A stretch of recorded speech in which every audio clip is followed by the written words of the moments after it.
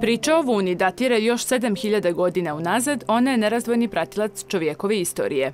Iako se smatra da prve ovce nisu imale vunu kakvu danas poznajemo, one su je vremenom razvile pa je striža ovaca bila ne samo radi čovjeka, već i zbog očuvanja zdravlja stada. Jelena Đukanović, dizajnerka, kaže da u današnjem vremenu upotreba vune je na istorijskom minimumu. Uglavnom je svuda sličan problem koliko smo do sada mogli da e, primetimo, a to je da velike količine vune propadaju, da se bacaju, odlažu u prirodi, znači nismo samo mi ovaj, e, specifični po tome, naprotiv i ovaj problem isti na hrvatskim ostavima, u Grčkoj, u Španiji, u Italiji, naročito na jugu Italije.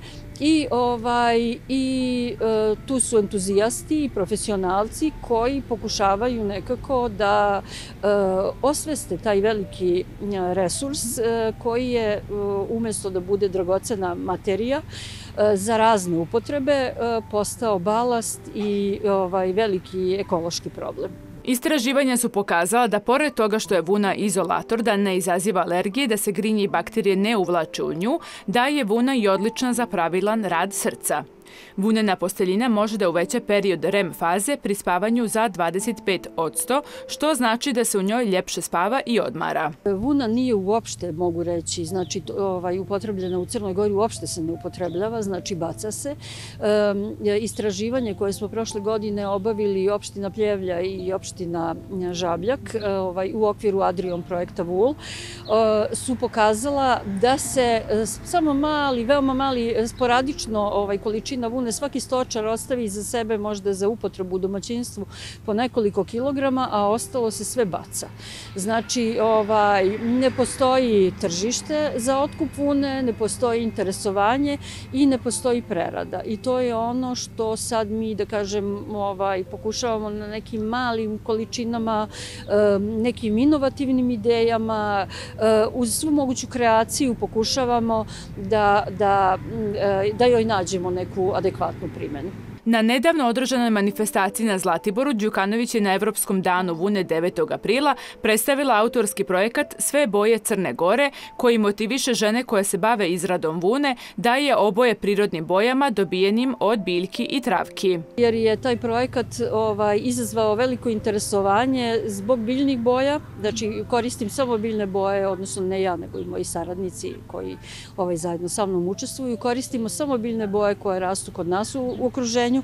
Iako e, neke tropske biljke daju bolja i sigurnija oboljenja, mi se malo više pomučimo, ali dobijemo naravno odlične rezultate.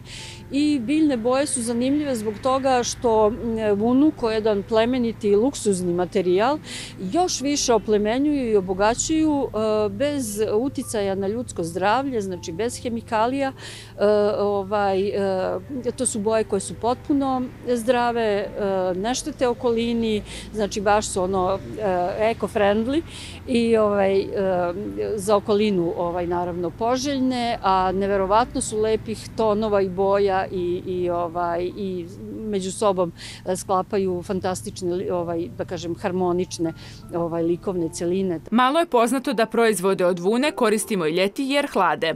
Vunene čarape koje smo planirali da odložimo u ormar zajedno sa zimskim jaknama možemo slobodno obuti i tokom ljetnjih noći, jer je magija u termo termoizolaciji. Pored nje svila ima ovakva svojstva, ističe Đukanović. Vuna je jedan od najboljih izolatora u prirodi. Vuna i svila od tekstilnih materijala su znači idealni za nošenje i leti i zimi.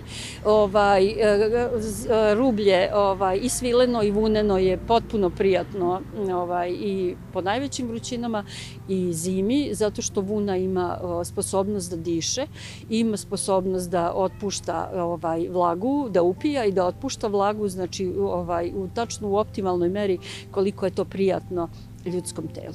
Bojađijske metode u našim krajevima datiraju još iz 18. vijeka kada su se domaćice snalazila na razne načine. Čupale travčice, brale biljke, koristile koru od drveća i sve ono što su imale u domaćinstvu kako bi svježe bijelu vunu obojile u razne nijanse.